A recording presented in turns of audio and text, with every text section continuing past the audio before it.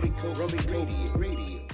Hey, what's good? What's good? Rum and Coke Radio back to y'all each and every Tuesday right here. Myself, the short one. We got Dizzy D, who still needs to unmute himself. Oh, we're moving on. Miss, we got Miss Holliday. Yo, yo. now that you back, can you please uh, reintroduce our guest, sir? Ladies and gentlemen, make some noise for our boy Jarod Joseph.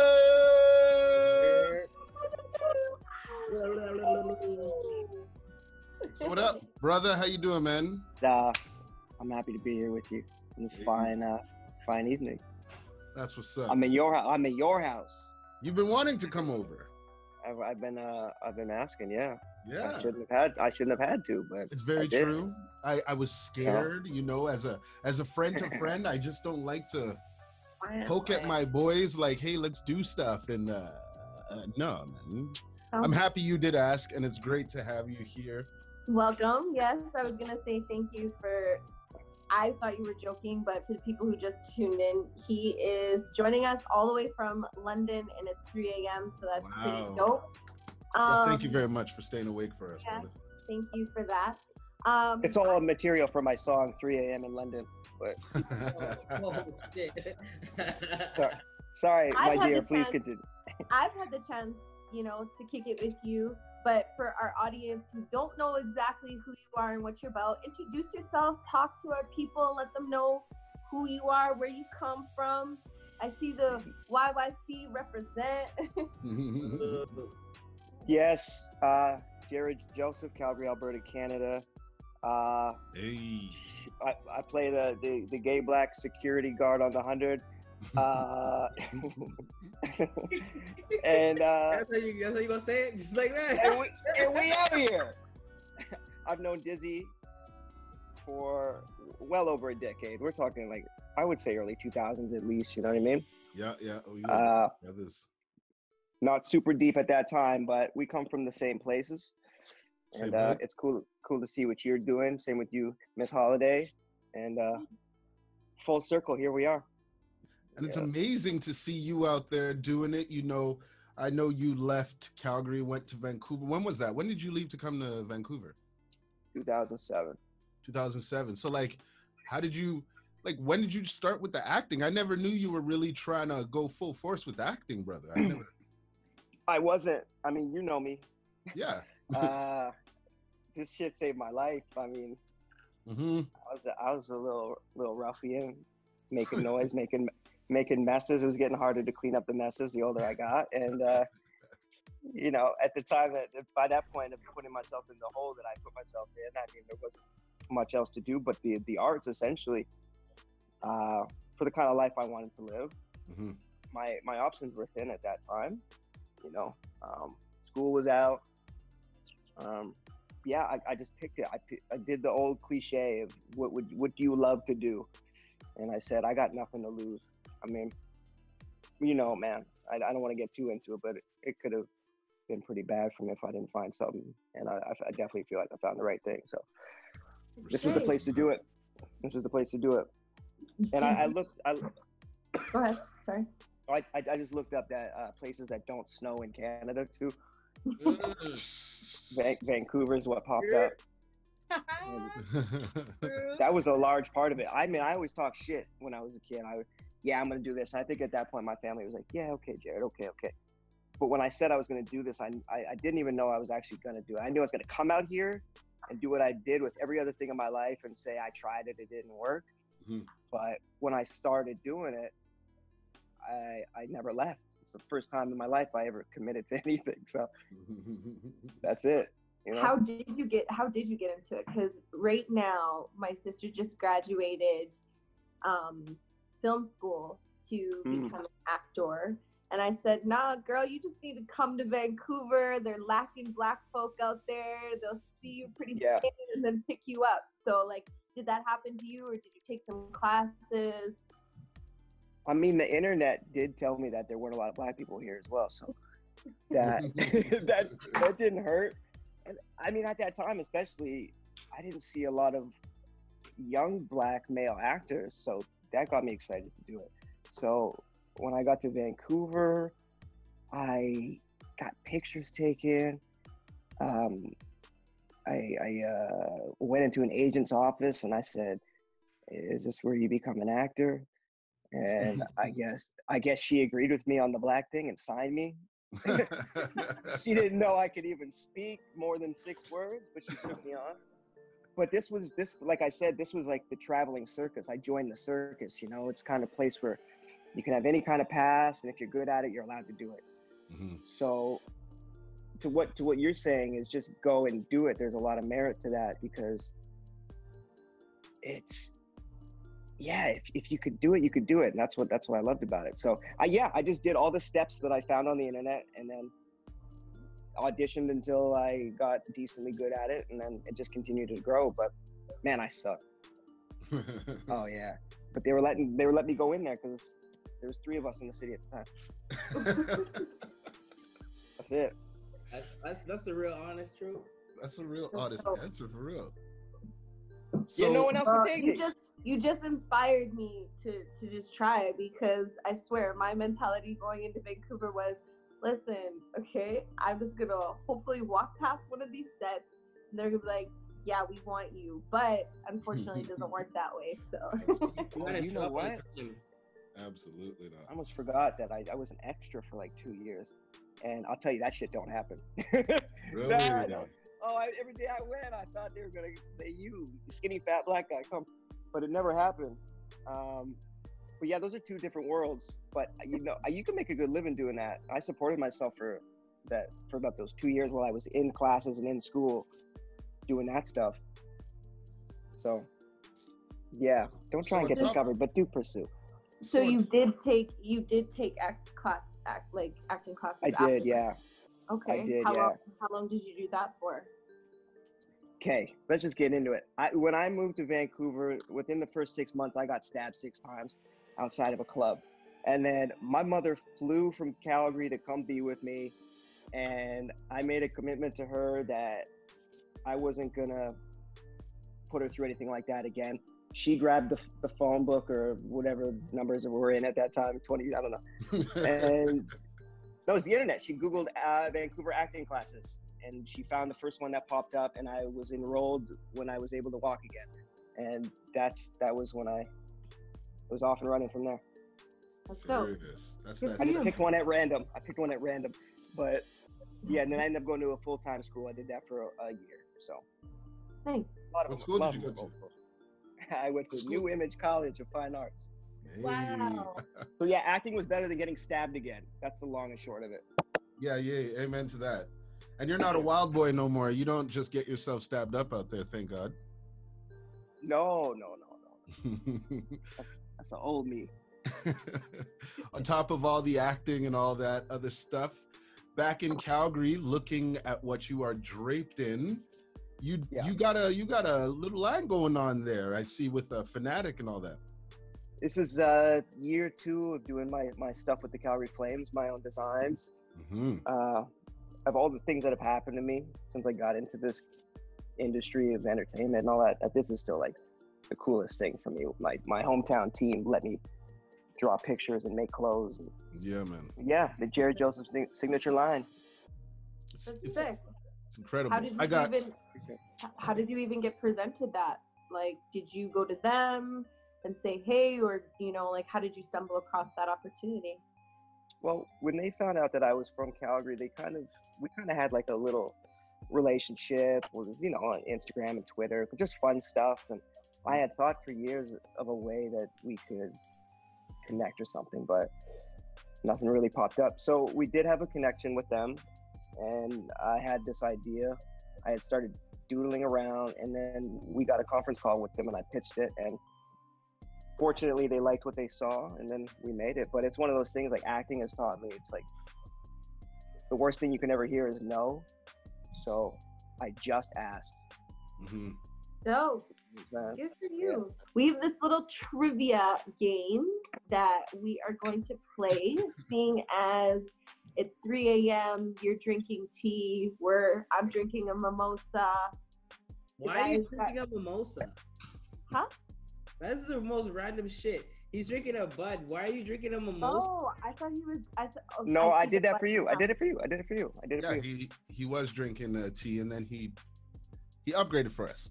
All right, Yeah. perfect. That's cow. okay, that's so cowboy we're gonna play beer. this um, trivia game that is in courtesy of fanpop.com. Uh huh. So we're gonna see how many. I'm gonna ask how many questions do you think I should ask this? Five. Five. Okay, and we'll see how well you know the show. Okay, so how many genetically modified animals does the group encounter? So A, two, B, we don't know, C, one, or D, none. Oh, one. One. Yeah. It says you got the last question wrong. The answer was number two. That makes sense. I I only know about that deer Mm. that was in like the, the first. ep- I don't know.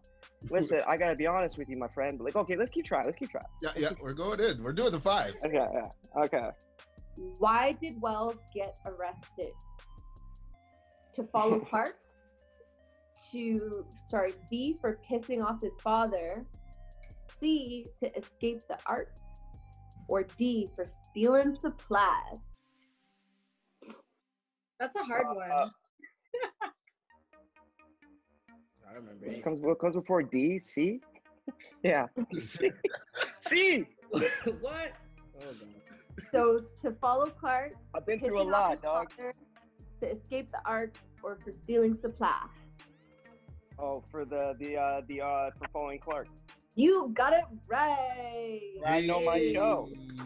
So if he gets it right, then we have to take a shot. Yep. Okay. Yep. Okay, so we gotta we gotta take a sip. I'm, gonna- I'm taking a shot either way. So I'm empty. I'll do it with you too, because it's 3 a.m. You got me drunk, so we'll just drink it. What was Abby's crime? A. Having a second child. B. Wasting drugs. C. Theft. oh, Or like D. season one. Treason. Oh, treason.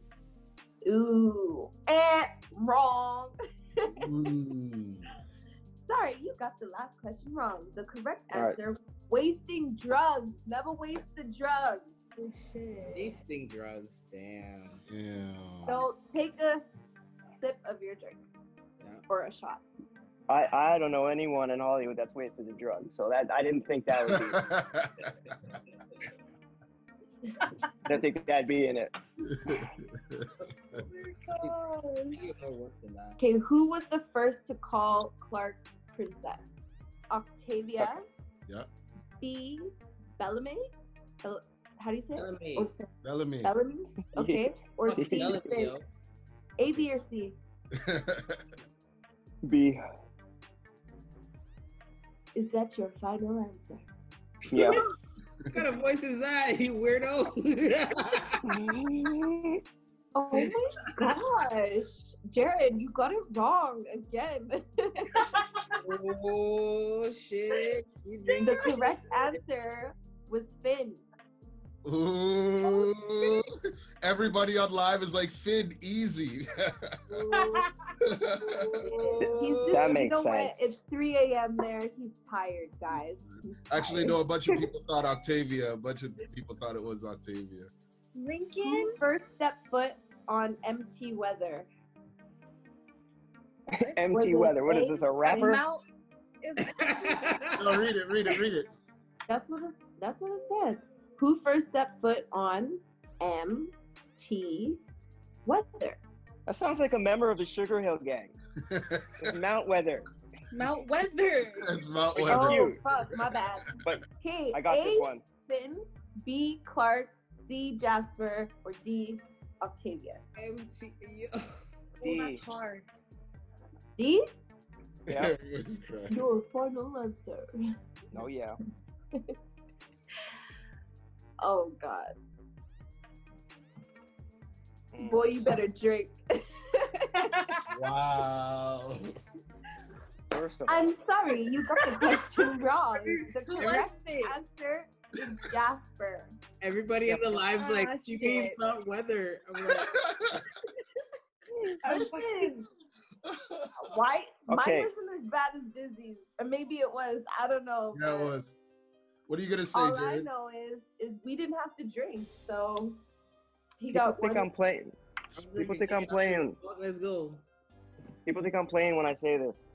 I've, I've said it for my entire time on the show. I've never seen a full episode of the damn show. I know. and I'm an and I'm an egomaniac, so I would have wanted to win that game. So I'm not lying to you.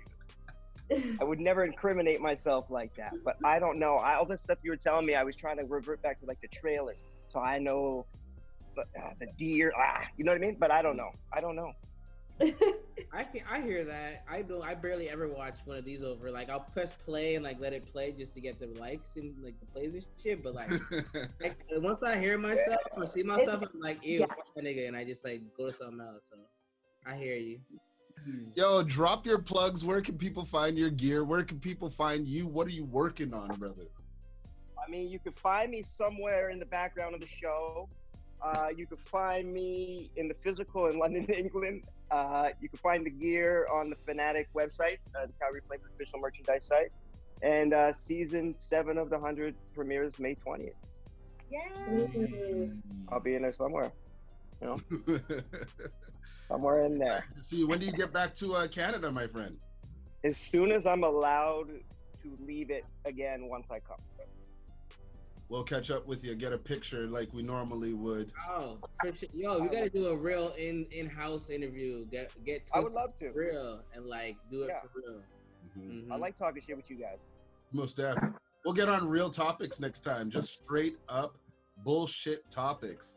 Talk so much mess like we did to Kashi. Dizzy. Dizzy, Mm-hmm. you know I can talk my shit. That's very true.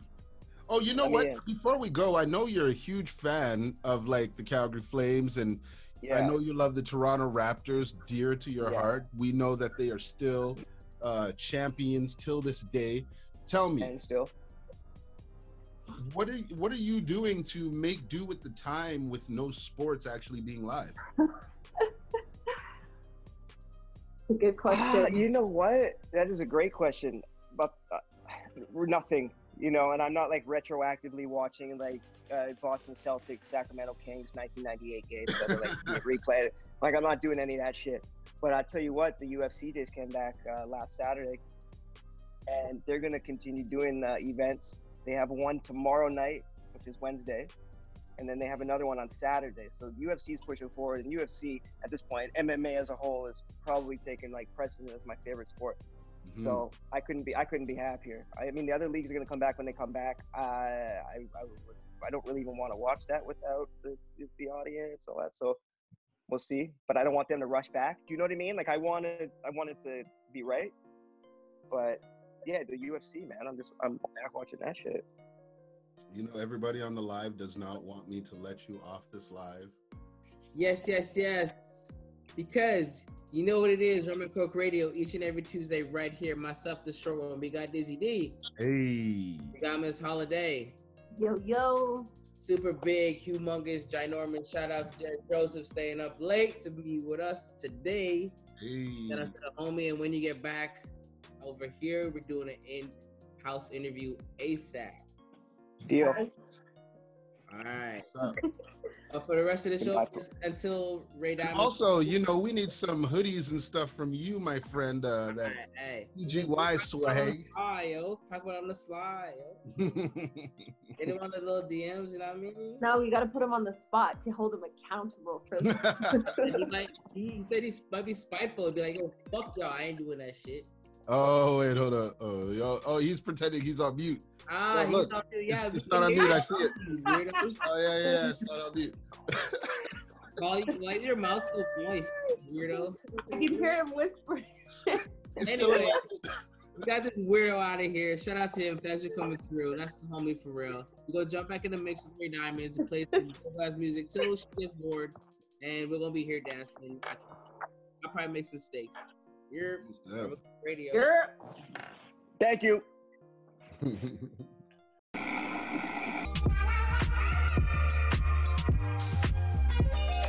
Roman Code Radio. Roman Code Radio. Radio.